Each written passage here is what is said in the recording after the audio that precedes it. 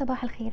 الرز بلبن من الحلويات اللي تقريبا الكل بيحبها. هعمله بطريقتي. مش هكدب عليكم واقول إني هعمله بطريقة أشهر المحلات لإني ببساطه معرفش أشهر المحلات بتعمله إزاي بس هضمن لكم إن الطريقة دي هتطلع رز بلبن أحلى وأنضف مليون مرة من بتاع بره. متماسك كريمي لونه فاتح وطعمه خرافي. مكوناته متوفرة في كل بيت طريقته سهلة جدا وفوق ده كله بتعمليه على ذوقك متحكمة في نسبة السكر اللي فيه وبتضيفي النكهات اللي بتحبيها. فبيكون بجد يجنن. يلا نبتدي ونقول بسم الله. عندي لتر من الحليب كامل الدسم وكل ما كان اللبن بخير وجودته عالية كل ما كان الرز بلبن أجمل. معلقة صغيرة فانيلا نص كوباية رز مصري مش بنستخدم غيره لأنه بيكون فيه أكبر نسبة نشا. بغسله مرة واحدة بس وبصفيه مش بنقعه. ولأنه في الغسلة دي ضيع شوية من النشا اللي فيه فهضيف معلقتين كبار نشا هتخليه متماسك وكريمي برده بس مش سايب زيادة عن اللزوم. نص كوباية سكر وده ممكن يتزود أو يتقلل حسب الرغبة. على الكمية دي هضيف كيس كريم شانتيه حجم الكيس 35 جرام وكوباية إلا ربع من كريمة الخفق. بالإضافات دي إحنا بنرجع للبن نسبة كبيرة من الدسم وخصوصا لو اللبن معلب هحتاج كوباية مية عشان نسوي الرز وعليها كوباية لبن من اللتر اللي إحنا هنستخدمه. هحط عليهم الرز المغسول مرة واحدة بس ومتصفي. هديله تقليبة واغطي الحلة وهسيبه على نار عالية لحد لما يغلي. أول ما يغلي هقلبه أتأكد إن مفيش رز لازق وهسيبه يستوي على نار هادية لمدة عشرين دقيقة بالظبط. أنا دايما بظبط تايمر التليفون علشان منساش بعد عشرين دقيقة الرز بيكون استوى. هنزل باقي اللتر وعلى نار متوسطة هسيبه مع التقليب كل فترة والتانية لحد ما يوصل لدرجة الغليان. بدل ضفت لبن مش بغطي الحلة ومش بتحرك من قدامه. هو مش هياخد أكتر من عشرين دقيقة كمان لحد ما يكون جاهز.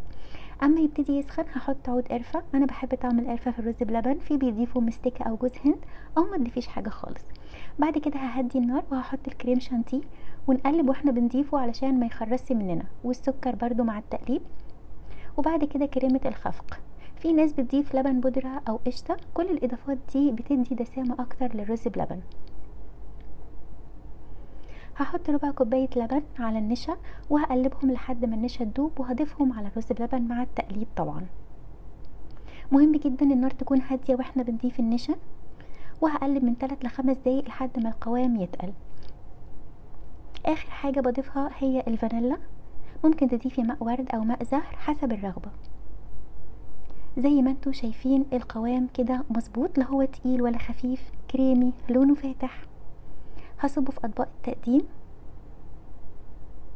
ولازم أقلب وأنا بصب عشان ما يبقاش واحد فيه كريمة زيادة وواحد فيه رز زيادة يبقوا كلهم متساويين. نص كوباية رز ولتر لبن عملوا الكمية دي كلها.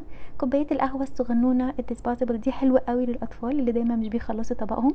هسيبه يبرد تماما هغطيه وادخله التلاجة 3 4 ساعات بعد كده بيكون جاهز للأكل.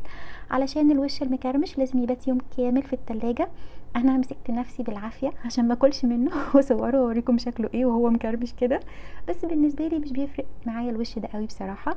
المهم الطعم هو ملوش علاقة بجودة الرز بلبن بس هي أذواق. زينوه بقى بالطريقة اللي تعجبكم. في ناس بتحط نوتيلا زبدة لوتس مربى. أنا أكتر حاجة بحبها بالمكسرات الزبيب وجوز الهند الشكل التقليدي للرز بلبن بتاعنا. سكره مظبوط قوامه كريمي يجنن طعمه أحلى مليون مرة من بره يا رب الفيديو يكون عجبكم. أتمنى تجربوه وتقولوا لي رأيكم. وأشوفكم إن شاء الله الأسبوع الجاي وفيديو جديد. باي باي.